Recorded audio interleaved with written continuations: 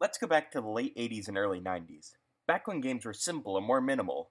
Back when they required a level of skill to complete that not many modern games require. Where every nook and cranny is a new secret to be discovered. Well, this is Fez. Fez was announced in 2007 by Phil Fish and his company Polytron. However, it wasn't until April 2012 that Fez was actually completed. That is a five year development time, which is quite a while if you ask me. To quote Phil in a later interview, what you are playing is basically Fez 3. We have scrapped and started over this game about twice now until it is the game that you see today. This just goes to show how much the folks at Polytron really do care about Fez. Phil then said in another interview that, that people see him as the man making Fez, and that he, quote unquote, is Fez. Well, all of this determination did pay off, because Fez is single handedly one of the wackiest, most charming, most fun indie games that I've ever played. This game is about a small, pixely protagonist named Gomez, whose task is to get all 32 cubes and restore order to his crumbling world.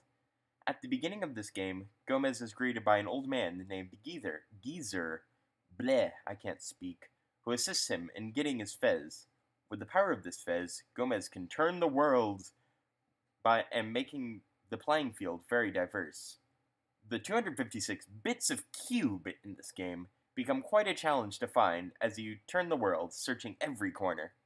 Each level in Fez is totally different from the last, from tree canopies to a lighthouse on an island. There is no telling what you will find next. Fez involves no combat or any action to speak of. There are no enemies, there is no death penalty, and there is no life system. This, make Fez, this makes Fez a really relaxing and joyous game to play. It also helps broaden it, its audience to, well, almost anyone.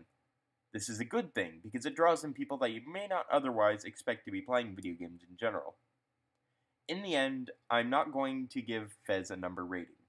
I feel like the choice for you to buy this game should be because of what I've said, not because of a scale of 1 to 10. However, I would like you to keep this in mind.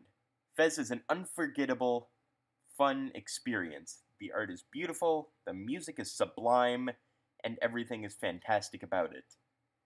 But again, the choice is up to you. So, if you want to see more reviews or videos, please do remember to rate, comment, subscribe, and I'll see you all in the next video. Goodbye.